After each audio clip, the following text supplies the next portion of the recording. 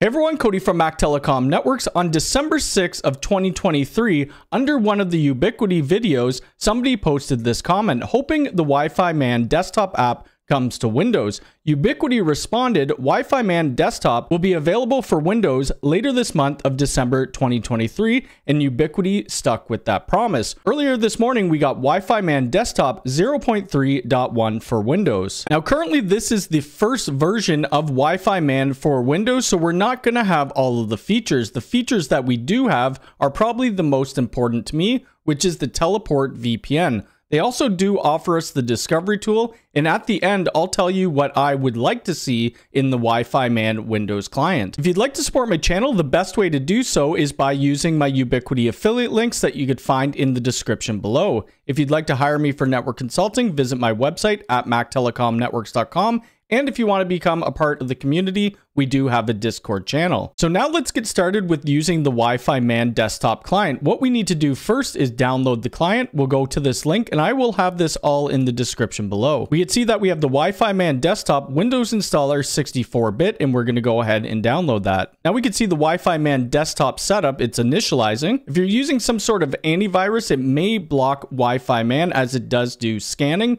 So you're going to have to go in and then allow it. Now with the Wi-Fi Man app up, it says welcome to Wi-Fi Man. Discover devices and access teleport VPNs. We need to agree to the terms and service and then press start. After we press start, it says UniFi Teleport. Wi-Fi Man allows you to use UniFi Cloud gateways as a free VPN server. Log into your UI account associated with the gateway network you'd like to remotely connect to or use a teleport invitation. So right now, I'm just going to log into my account. Now, before we go any further, let's look at the settings because some people don't like light mode. We can change the theme and I'm going to put it to dark mode. We could also do a few things under the security so we could skip untrusted certificate warnings and password protection. Now let's go back to the teleport. Under the drop down menu, we could see all the consoles that our account is associated with. So you could see Mac Telecom SE, you'd see Mum and Sean, you'd see Deb and Steve, and Test UDR. At the top here, we have the Express YouTube, which is my UniFi Express, which we'll be testing out. At the top, you could see that I have selected the Express YouTube, which is my UniFi Express test machine. But we could see there's no teleport access. That's because it's currently disabled. So let's go to that unit and enable it. We're over on my UniFi Express, and if we click down on our settings, we need to go to teleport and VPN. Here we need to enable the teleport and then press apply changes. Once that's done, we should be able to use teleport to get to the resources on this UniFi Express. For testing purposes, I put a ZimaBoard where the UniFi Express is sitting and we could see it's at 192.168.1.15.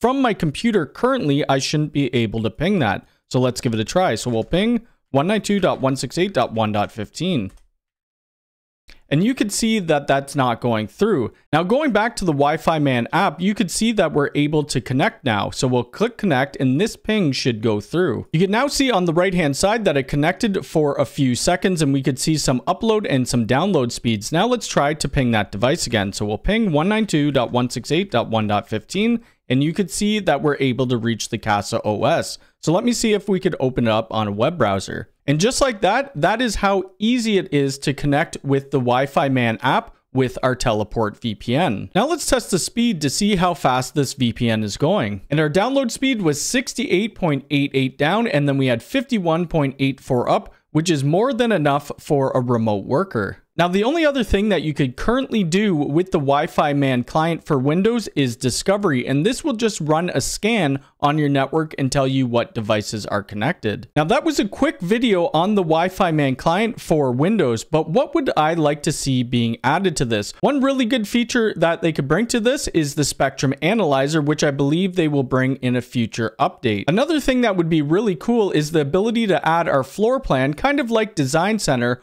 walk around our house, click on the screen. That way we could tell if our design was good. So walking around, kind of like what I do with the NetAlly AirCheck G3, but with Ubiquiti. Also having the built-in speed test server would be good for us to be able to do some testing. Let me know what you think of the new Wi-Fi Man client for Windows. If you like this video, hit the thumbs up button. If you're new here, please subscribe and hit the bell icon. All right, thanks.